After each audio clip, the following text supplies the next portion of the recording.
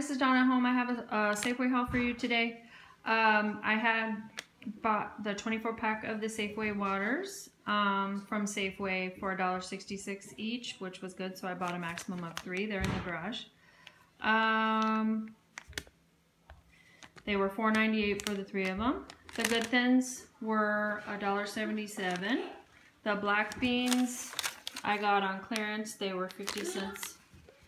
Uh, the three Danimals, um, Dan and smoothies were 3.75 for the three.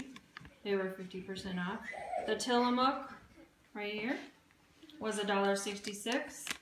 The Open Nature chicken thighs were $2.73. Uh, the smoked sausage I found on clearance was $1.39. Uh, so the Lunchables were 50% off and they had dollar off to look in your store, dollar off to coupons, which I used one, two, three, four of them. So the prices were, uh, they kind of do the pricing weird. Uh, 142 for three of them, 356 for four of them, and 14 cents for one of them. So I don't know.